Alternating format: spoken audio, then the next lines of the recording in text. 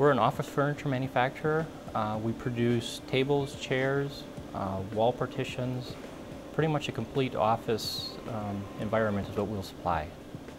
I'm John Rank. I work at KI as a uh, senior manufacturing engineer. Typically we get involved uh, at the ground level when they come up with the design. We take a look at it and see if it can be manufactured.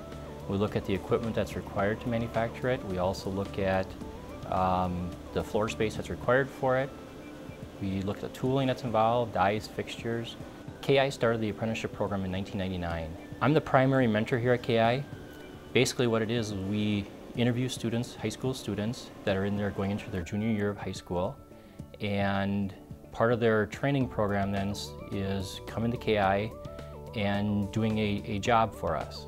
And we have two different apprenticeship programs that we, have, we offer them. One is a machining program and a drafting design engineering program.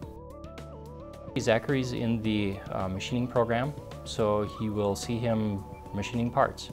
Uh, typically dies, fixtures, uh, molds, any kind of components that we need for, for tooling out there. My name is Zachary Soltevet. Uh, I went to Seymour High School as a junior, and that's where I got my applications from and started enrolling in classes at NWTC.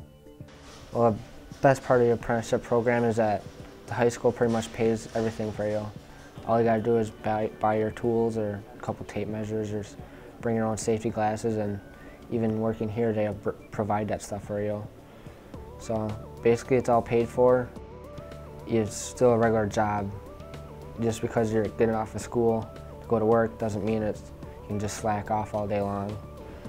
So just basically all you gotta do is give him your hours, what hours you're gonna work and he's usually around what time I get here and then so he's out watching so you can't just show up late or you always want to be on time, make a good impression. The guy I work with in the machinist, he's out, he was, came here when the first year they had the apprenticeship program and he's, he got a job, so they offered him a job after high school too, so if you do your work good and do good work for them and basically do whatever they ask, they might end you asking you for a job when you're done with high school, so. The first youth apprentice that we hired at KI is actually working here today. He's working in the tool and die department. We also have another uh, person that went through the drafting and design program. She's still working on board as she's going for her engineering degree. And so it's, it's, a, it's a way for KI to bring some new talent on board. When the student is hired, they get a grade, just like they will in school.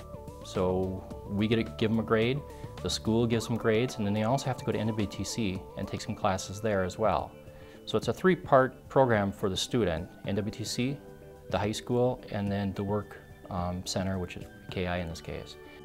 Philip, he works in the designing area, design and, and, and engineering area, and he's working on AutoCAD and working on some drawings for us for some fixtures and odds and end parts. He's doing the, the detailing drawing for it.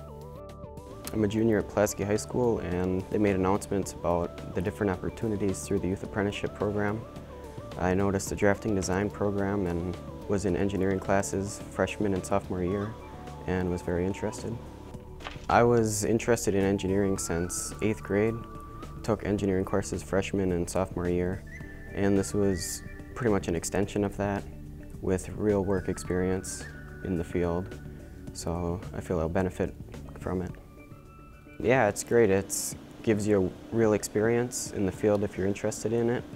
And also, it's more specified towards what you're interested in versus all the electives at the high school that you really don't want to be doing. For classes, definitely math, a lot of math, advanced math, um, science, some geometry, algebra,